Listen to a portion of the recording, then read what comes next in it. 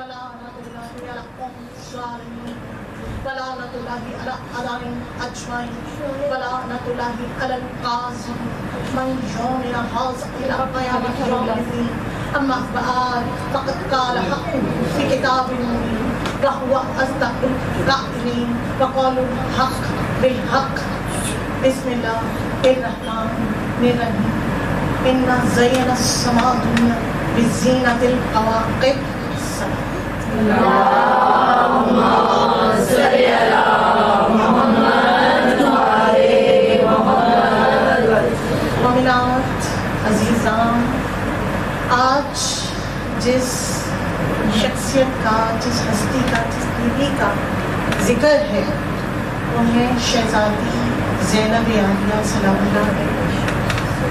ये फर्श अज़ा हमेशा फर्श अज़ाई हुसैन बनता है लेकिन आज ये फर्श जैनब यहाँ आज हमने पुरसा देना है एक भाई को उसकी बहन। मोमिनात ये जो ज़िक्र है शहजादी जैनब का, ये इस कदर खूबसूरत और अहम ज़िक्र है कि जिसके करने से इमाम ज़माना हुज्जत पे खुदा की एक खास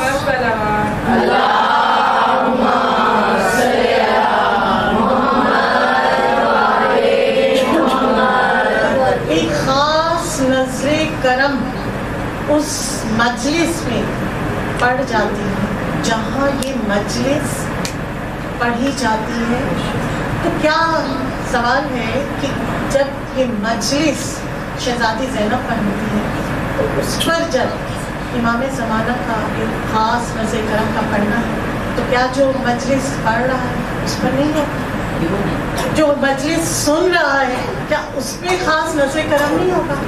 जिसने ये इतना एहतमाम किया है क्या उस पर खास नज़र करम नहीं होगा? जिसने इतना इंतज़ाम किया है क्या उस पर खास नज़र करम नहीं होगा? यानी कि एक एक अदा पर एक एक कारी खैर पर, एक एक काम पर उनकी नज़र होगी मामे जमाना की। इसीलिए तो रसूलुल्लाह ने भी तो फरमाया है।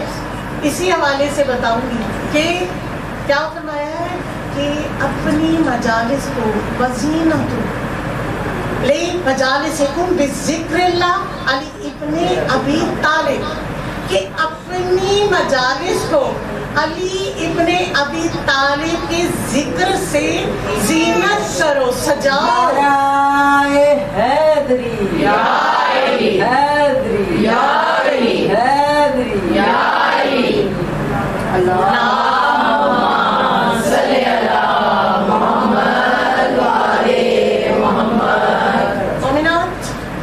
यानी देखें दरूद पढ़ने से एक तो आले मोहम्मद की खशनूदी हासिल होती है लेकिन दरूद पढ़ने से जैसे नफाक होता है। ऐसे ही ज़िक्र अली करने से मजलिसें बरकत और रहमत आती है खूबसूरत हसीन होती है। और अगर जिन इज्तमात में अली इब्ने अबी तालिब का ज़िक्र न हो तो वो इज्तमात मनहूस हो जाते हैं।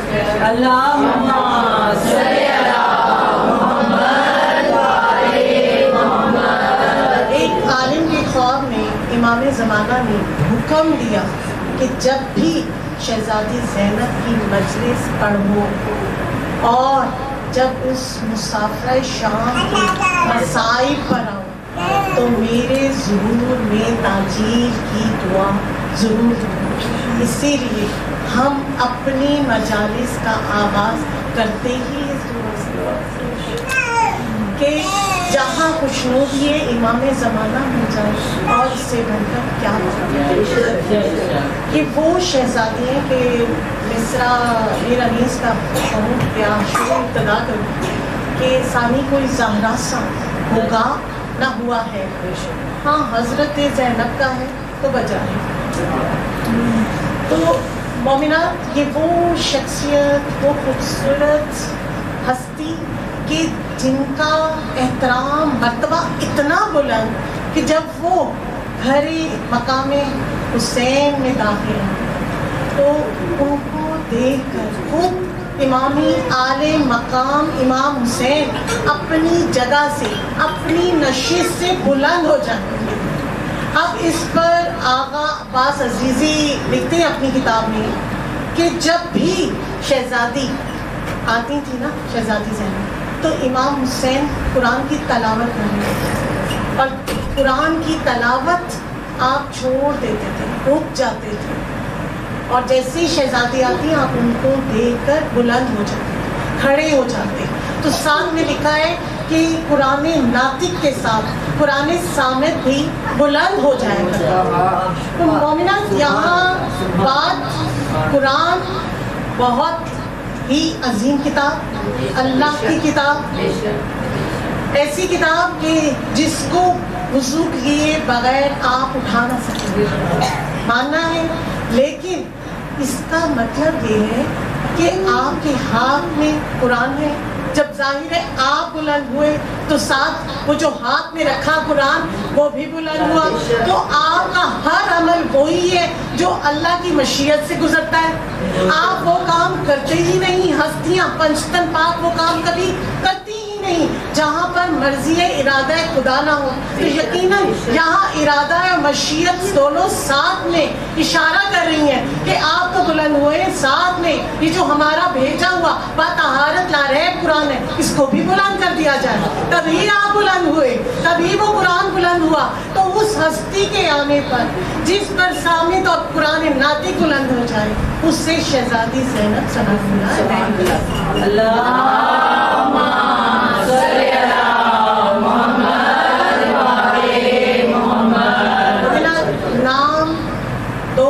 मुरक्कब अल्फाज का मजमुआ, जैन, अब अब ये नाम है और इसका मतलब सबको पता है बाप की जीनत तो क्या ये पहला नाम है जैनब जो अपने बाप की जीनत बनी? इससे पहले भी तो बहुत जैनब है। हज़रत मोहम्मद मुस्तफ़ा की खूबी का नाम भी जैनब। सवाल? सवाल बनते हैं मोमिनात के जहनों में, क्योंकि इल्म हमारे पास कहीं दरवाज़ों से, मस्जिदों से कहीं और से नहीं, सीधा इल्म आया। तो सवाल उठता है कि ये शहजादी जैनब का नाम जो जीनत है बाप की तो क्या वो जो इनसे पहली जैनब थी, क्या वो जीनत नहीं है अपने बाप की? देखिए ना, कहा जाता है कि हज़रत खदीजा की जो भतीजियाँ आई थी, उनमें भी एक का नाम जैनब था। और दूसरी, जिस तरह फातिमा फातिमा जहरा नाम सिर्फ़ बिनते रसूल का तो लिखा उससे पहले फातिमा बिनते असद और बहुत रिश्तेदारों में तकरीबन नाम ही फातिमा से इब्तदा होती थी उनकी क्या फ़र्क है कि ये जीनत खास बनी अपने बाबा की? वजह ये है कि ये है बिनते अमीरुल मोमिनीन अली इब्ने अबी तालिब। हैदरी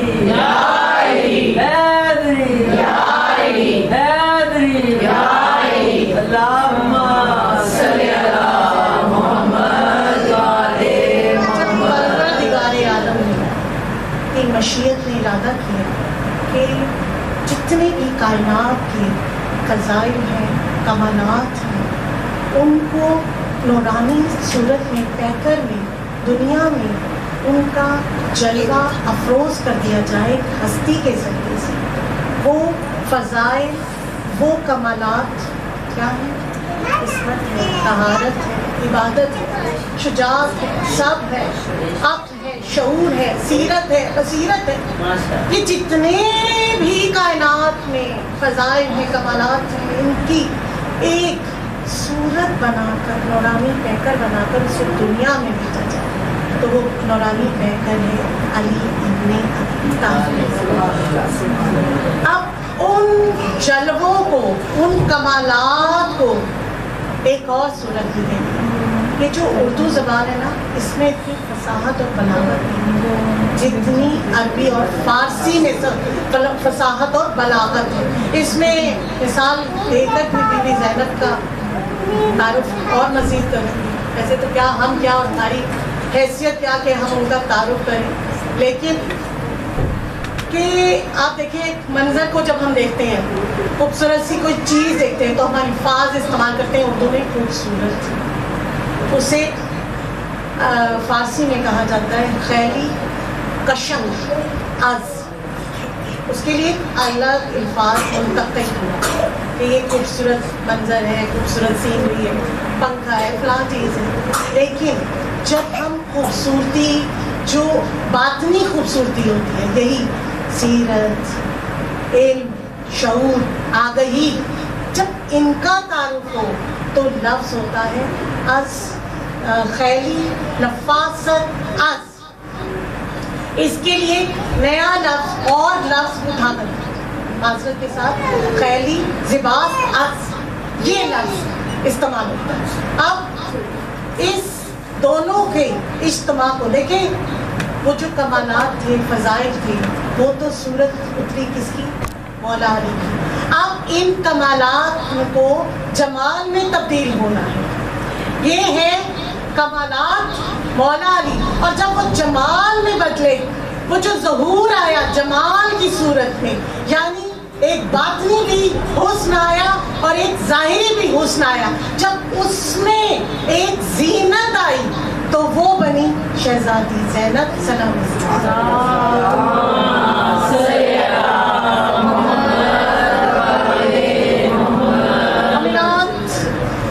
मिस्र की एक डॉक्टर है। उनका नाम है डॉक्टर आयशा शांति। ये मिस्र के लोग सबसे ज़्यादा दुनिया में जो रिसर्च हो रही है, कुरान पर पढ़ा पढ़ा जा रहा है, कुरान समझा जा रहा है तो पहले मिस्र सबसे ज़्यादा लोग इस कुरान को फोकस कर रहे हैं। दूसरे इस्लामी ममालिक के बारे से सबसे ज़्यादा। वहाँ की एक डॉक्टर है, इसने किताब लिखी, शहजादी जैनब उसका नाम लिखा, उसने जो किताब का नाम दिया वो है अल बतरातुल हुर्रिया, यानी शेर दिल खातून। ये उसने किताब का उन्वान दिया, इस किताब को, और लिखती हैं कि ऊन की लकड़ी होती है। जैसे शीशम और दयार किकर ये जो लकड़ियाँ होती है ना, इनमें कोई फ़र्क नहीं। यानी इनको अगर सामने किसी शोकेस पर किसी मेज पर शीशे पर रख दिया जाए। ऊन की लकड़ी को शीशम को कीकर को तैयार को तो वहाँ पे कोई फ़र्क पता नहीं चलेगा कि ये किस की लकड़ी है। ये वो मिसाल दे रही है अपनी किताब में। और जब इन लकड़ियों को भुनाया जाए यानी भट्टी में डालकर उसे जलाया जाए तो एक खुशबू सी बहती है। एक खुशबू जो है में। उस खुशबू ने उन तमाम लकड़ियों ने उसे उन्हें मुख्तलिफ़ कर दिया मुनफरिद कर दिया मोहम्मद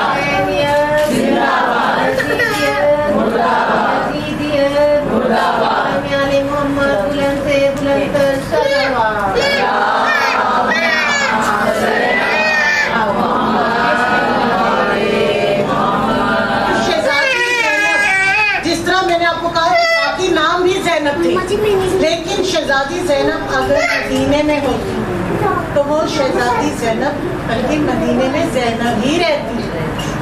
लेकिन जब आप मदीने से निकली अपने भाई के हमरा करबला से कूफा कूफा से शाम शाम से करबला आई तो उनके कमालात के जो, उनके अंदरूनी बातनी जवाहर थे, वो बाहर आए, सबके सामने आए, सारी इंसानियत पता चला कि ये है कौन?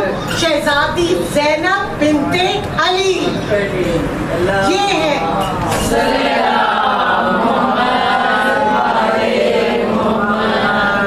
अब विलादत का, माशाल्लाह, सबको मालूम है कि शहजादी की विलादत कब मदीने में कहाँ और उनका नाम किस तरह से मुंतखब किया गया। यहाँ मैं तेज़ी से गुजरूँगी क्योंकि विलादत अल्लाह आप सबकी समातों को सलामत रखे आप ऐसे से ज़िक्र सुनते रहिए। तो अब जब विलादत हुई, नाम का इंतखाब का हुआ कि अब कौन रखेगा नाम? उसके लिए सबसे पहले जनाब सैयद अमतवजम मौला अली की तरफ़। मौला ने कहा, मैं कैसे सबका ग्रंथ ले जाऊँ? इसका नाम रसूल के होते हुए मोहम्मद रसूलुल्लाह के होते हुए उनके नाना के होते हुए मैं कैसे सबकत ले जाऊँ? उसके बाद नाम क्योंकि आप मदीने से बाहर थे, किसी काम तजारत के घर से, किसी घर से, मोहम्मद रसूलुल्लाह घर से बाहर गए हुए थे, मदीने से बाहर। लेकिन जैसे ही आए, उनके सामने ये तजवीज़ रखी और फिर आपने कहा कि अल्लाह के होते हुए मैं कैसे सबकत ले जाऊँ और ऐसे में जब्रील अमीन नासिल हुई और कहा कि जिस तरह से हसनैन के नाम भी अल्लाह ने मुंतखब किए, ऐसे ही इस शहजादी का नाम भी अल्लाह ने तजवीज़ किया है। और नाम है इसका जैनब। ये नाम अल्लाह की तरफ़ से आया अब रसूल अल्लाह ने इस बच्ची को गोद में उठाया और उसके बाद कहा, बुलंद करके कि मेरी ये बेटी मिसले खतीजा अब मिसले खतीजा, ये है वो शहजादी जैनब। अब यहाँ से देखिए, अब मुझे ये बताना है कि ये जो शहजादी है ना, पंचतन पाक का जाहिरी तौर पर हिस्सा नहीं है। लेकिन बातनी तौर पर पंचतन पाक का खुलासा है।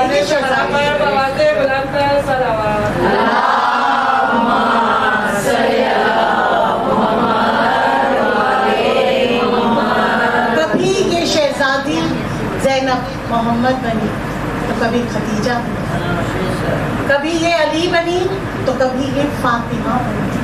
कभी ये हसन बनी हुसैन अब ये क्या कहा मोहम्मद रसूलुल्लाह ने? कि ये है मिसले खदीजा। मक्के में कुछ ऐसे, आपको पता है राइटर्स हैं जिन्होंने ये सारी सीरत नबी में किताबें लिखी हैं, जिनमें इब्ने हशाम है, इब्ने इसाक है। उन्होंने लिखा कि ऐसे लम्हात आए मक्के में जब मोहम्मद रसूल अल्लाह ने खाना काबा के सामने चालीस दिन नमाज़ अदा की। अब उनके पीछे एक नौजवान ने चालीस दिन नमाज़ अदा की। और उनके साथ एक बीबी खातून ने भी चालीस दिन नमाज़ अदा की। और उनके गिर्द हिसार एक बूढ़े ने तलवार को उठाकर उस उन तीनों का क्या किया? हिसार बनाया और उनकी हिफाजत पर मामूल है। अब ये बूढ़ा मुजाहिद कौन है? ये है अबू तालिब और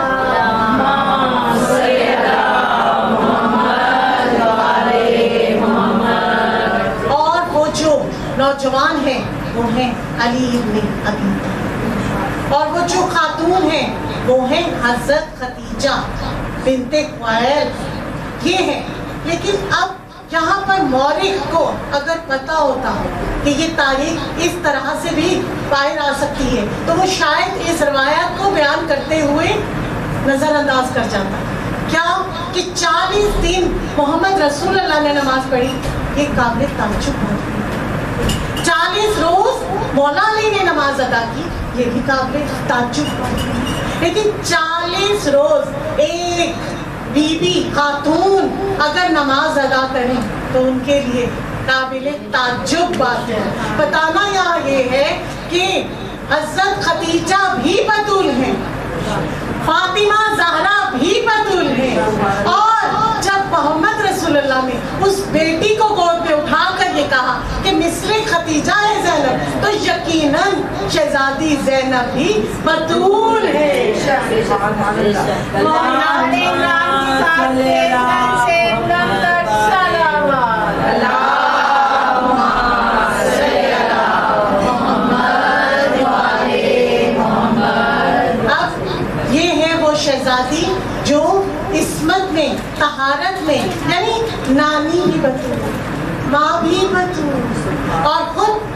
शहजादी जैनब सलाम अब कहा है मैंने कि मोहम्मद रही तो ये मोहम्मद कैसे? गदीर खुम के मैदान में रसूल अल्लाह अपनी सारी ज़िंदगी सारी ज़िंदगी एक हकीकत को बयान करते और तेईस सालों में जुबानी बयान करते रहे, ऐलान करते रहे, अली की विलायत का। और गदीर खुम में क्या किया अमली मुजाहरा किया, अमली तौर पर दिखाया मौला अली की विलायत का। तो पहले अली की विलायत का ऐलान तो कर दिया मोहम्मद रसूल अब सवाल यहाँ है कि दूसरे अली की विलायत का ऐलान कैसे हुआ? क्योंकि हुसैन तो जिन्होंने करना था, अली जैनुल आबिदीन की विलायत का ऐलान तो खुद उनके बाबा हुसैन शिम के खंजर तले तेरह जरबों से जिबा हो चुके हैं। तो अब ये काम कौन करे?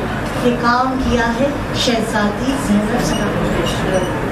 वो क्या कमाल है कि कैसे किया आपने जुबानी पहले आपने कैसे ऐलान किया कि जब रोज़े आशूर क़याम जल गए तो आई हैं। और आकर सैयद सज्जाद से कहा है कि बताओ बेटे सज्जाद, कि हम इन जलते हुए ख़याम में जलकर मर जाएँ या बेरिदा इन ख़याम से बाहर निकल जाएँ? ये है शहजादी जैनब, जो कि आलिमा गैर मुअल्लिमा है और वो ये इतना सा मामूली मसला पूछ रही है। उस वक्त जब ख़याम जल रहे हैं, वो भी सैयद सज्जाद से। क्या आप नहीं जानती कि क्या करना है? आखिर आपके लिए जैनुल ने इतने जयाद के दरबार में बताया था कि मेरी ये भुप्पी कौन है? आलिमा, गैर मौलिमा है, जो कि कायनात में सवाए अल्लाह के। उनका कोई और उस्ताद नहीं। वो शागिर्द खुदा है। और उन्होंने अगर फारिगुल तहसील भी हुई है तो खुदा की शागिर्दी से फारिगुल तहसील है। ऐसी बीबी जिनका कोई उस्ताद ना हो, उससे आलिमा गैर मुअल्लिमा कहते हैं। और वो बीबी पूछ रही है, बताना क्या चाह रही, बताना ये चाह रही कि ये जो जैनुल आबिदीन है, ये आप नायब रसूल हैं। ये आप इमाम वक्त हैं। ये आप कमाले इंसान हैं। ये आप कामिल ईमान हैं। आप ये हैं, कौन? इमाम जैनुल आबिदीन। यानी ये बताने के लिए उन्होंने ये मसला अपने बेटे सज्जाद के सामने रखा कि आया हम इन कयाम में जल कर मर जाए। अब अमली मुजाहरा किस तरह से किया? कि आपको यहाँ पर सोचने का मकाम है? बिल्कुल थामने का कि आपने रसूल अल्लाह ने जब मैदानी खून में, गदीर में मौला अली की विलायत का ऐलान किया तो उससे पहले कहा, वल्लाहु यासिमू का मिनन्नास उसकी जमानत लेने के बाद क्या इतना मुश्किल काम है कि अली की विलायत का ऐलान किया मैदान खून में? या साल जयीफा का मुश्किल काम है कि जो अपनी कमर पर 25 साल के जवान को लाद कर चलते कयाम से बाहर आती है और इस तरह से उसकी इमामत का ऐलान करती है। ये ज़्यादा मुश्किल काम है। अब आप देखें, मोहम्मद भी बने अब अली कैसे बने जब कूफे के बाज़ार में रश बढ़ता जा रहा था। मजमा इकट्ठा होता जा रहा था। ऐसे में भीड़ भरने लगी। तो एक बलून जिसके हाथ में नौके नेजा था, जिस पर इमाम हुसैन अली मकाम का कटा हुआ सर बुलंद था। तो उस भीड़ में उस बलून के हाथ को झटका लगा। और फिर सारे इमाम हुसैन सात नेजे के नीचे ज़मीन पर आया। तो शहजादी जैनब से ये बर्दाश्त ना हो।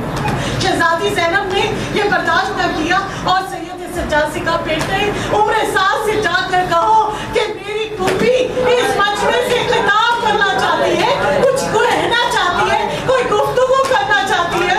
तो उसने उम्र साथ हंसा और कहा कैसी बातें करती है। इतना बड़ा रश है, इतना मजमा आम है। इस मजमे में अगर इब्ने ज़ियाद भी आकर खुतबा देना चाहे तो वो दे नहीं सकता। तो ये कैसे दे सकती? बीबी जैनब, जलाल आ गया शहजादी को। है ना अली की बेटी? अपनी जलालत दिखाई, ऐसा रोबदार, ऐसा दबदबा, ऐसी हैबत दिखाई, ऐसा किया कि कहा कि, उम्र सास से कहो सकता इस इज्तमा को बोलने से तो शहजादी अपने आप को कहा कि अली की बेटी खुद इस खुतबे, इस दर खुतबा देगी और इस इज्तमा को खामोश करवाएगी अब शहजादी के लहजे में ऐसा दबदबा ऐसी हैबत है कि तमाम मजमा खामोश हो गया और शहजादी जैनब ही खुतबा ही दे रही थी कि वहाँ से अब्दुल्ला इब्ने खफीफ का गुजर हुआ। ये मौला अली के, मुत्तकियान के साथी हैं। आँखों से अंधे हैं, दिखाई नहीं देता। एक आँख जमल में और एक आँख उनकी जाया हो चुकी है जंग में। अब वो वहाँ से गुजरते हैं और गुजरते हुए कहते हैं कि बेटा, क्या कयामत आ गई? क्या महशर का रोज बर्पा हो गया है? क्यों? क्योंकि आज मैं अली की आवाज़ सुन रहा हूँ। उस पर कहा उसके बेटे ने कि नहीं बाबा यहाँ कयामत नहीं आई तो कहा कि अली ने उस रोज, जिस रोज रमज़ान की तीसरी शब थी उस रोज हम आखिरी मुलाकात के लिए अली के पास आए थे आखिरी आयादत के लिए आए थे तो अली ने अपने शिकस्ता अपने जख्मी सर पर हाथ रख कर कहा था कि मैंने तुम्हें सबको अपने साथियों को खुदा की अमान में दिया और मुझ अली की आवाज़ अब तुम महशर में सुनोगे या कयामत के रोज सुनोगे आखिर ये कौन सा मकाम है जहाँ पर मैं अली की आवाज़ सुनता हूँ तो कहा बाबा ये अली की आवाज़ नहीं बल्कि बल्कि अली की बेटी जैनब बिनते अली की आवाज़ में उस पर ये खुतबा कह रही है आप वो जलाल में आ गया उसका उसको इतना जलाल आया कि उसके कदम का फतवा वही साबित हो गया और इधर बीबी देखिए बीबी ने खुतबा दिया है ना अली मौला अली के अपने बाबा की आवाज़ में तो यहाँ बीबी की आवाज़ पर भी पड़ता है क्या क्या खसूसियत है इस बीबी की कि देखिए आवाज़ भी अली का लहजा है यहाँ पर बीबी का पता कैसे रखा अली के लहजे में खुतबा देते हुए अली बीबी जैनब की आवाज़ पे भी पड़ता है और ये ऐसा खुतबा दिया बीबी ने ऐसा खुतबा दिया कि मौला अली के दिए हुए खुतबात को लोग भूल गए अब मैंने कहा ना कि ये शहजादी जैनब फातिमा जहरा माँ भी बनी किस तरह से कि जब दरबार यजीद में एहतमाम किया जा रहा है तैयारियाँ हो रही है। और इस रोज का तारीखी मुश्किल से भरा हुआ सफ़र तय करके आ रही है। और क्या कहा जा रहा है कि शहर शाम के बाहर दरवाजे के बिठा दिया गया तीन रोज के लिए और तैयारियाँ क्या हो रही है कि पूरा बाज़ार सज रहा है पूरा दरबार सज रहा है और वो मालूम यजीद फतह के जश्न मना रहा है और उसने क्या की तैयारी की उसने तीन बने आज़म के गवर्नरों को बुलाया हुआ उसने तमाम मशीर खास और वज़ीर खास को बनाया हुआ है। तमाम तरह के गैर मुस्लिम और यहूदी और ईसाइयों को अपने दरबार में जमा किया हुआ है कि आज पता का जश्न मनाऊँगा और बताऊँगा सबको कि ये कौन है खालची ये कौन है जिन्होंने बगावत की है? आज सबको बताऊँगा।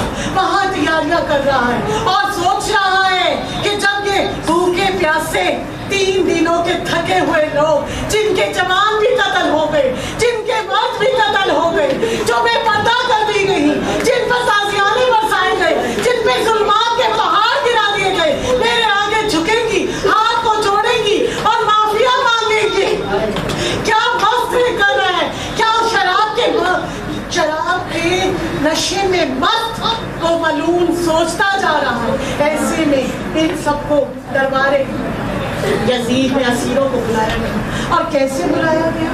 कि उनके गलों में रस्सियाँ बंध। छोटी शहजादी सकीना कभी ऊपर होती है कभी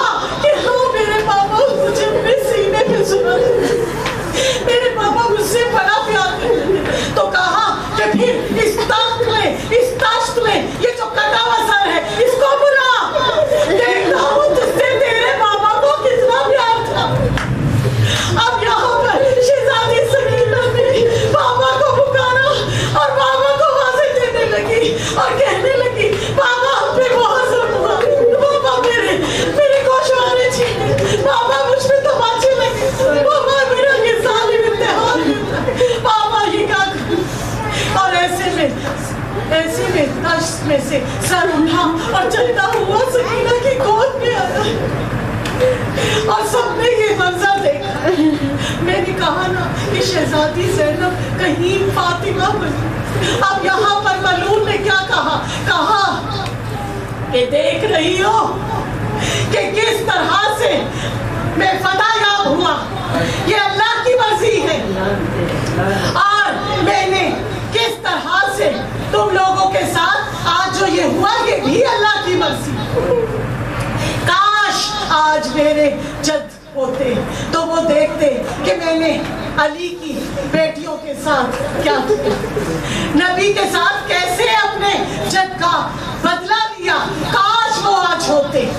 तो शहजादी जैनब जो खामोश करी थी, शहजादी जैनब ने कहा कि तू जो आज इन तमाम मजबे के सामने मोतबर बना बैठा है, आज जो तू काबिल बना बैठा है, आज जो तुझे सारे अमीर मोमिनीन और खलीफतुल मुस्लिमीन कह रहे हैं तू आज सुन ले कि तू मेरे सामने ही पस्त है, कमीना है, और मैं अली की बेटी, तुझसे कलाम करना अपनी तौहीन समझती जब शहजादी जैनब ने ये जुमले कहे तो यजीद का सर झुक गया, सारा दरबार खामोश हो गया, और देखने लगा कि अब यजीद क्या जवाब देता है। फिर जब यजीद से कुछ बना ना कुछ समझ ना आया तो फ़ौरन कहने लगा कि, लानत हो इब्ने मचाना पर लानत हो इब्ने जयाद पर कि जिसने हुसैन के साथ ये जुल्म किया।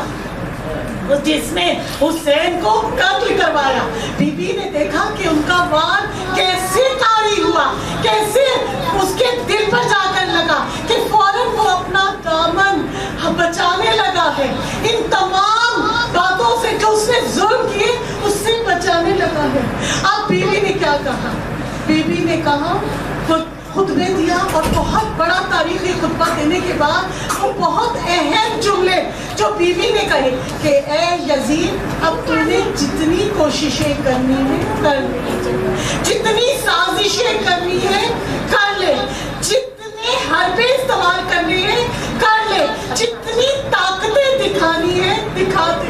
क्योंकि हमारा ज़िक्र कभी भी तू कयामत तक मिटा ना सके।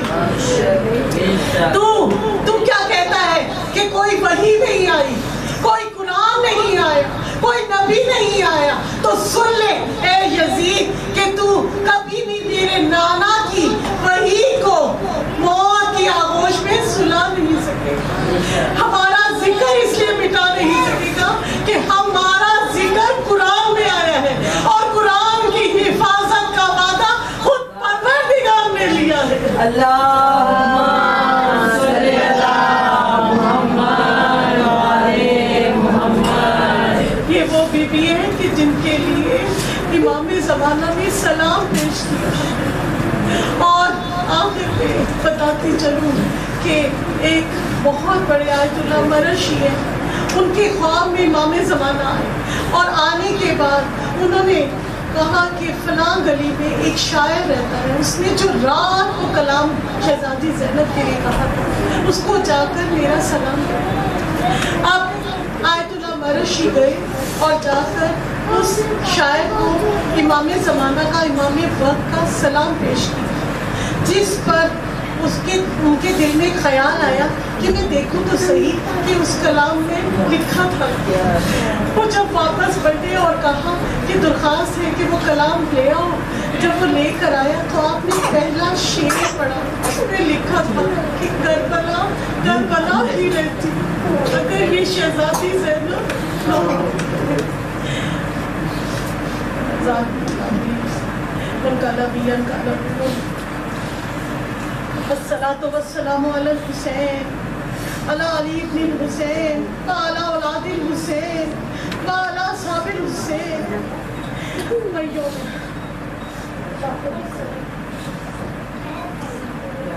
Hussein, Ya Hussein, Ya Hussein, Ya Hussein, Ya Hussein, Ya Hussein, Ya Hussein, Ya Hussein, Ya Hussein, Ya Hussein.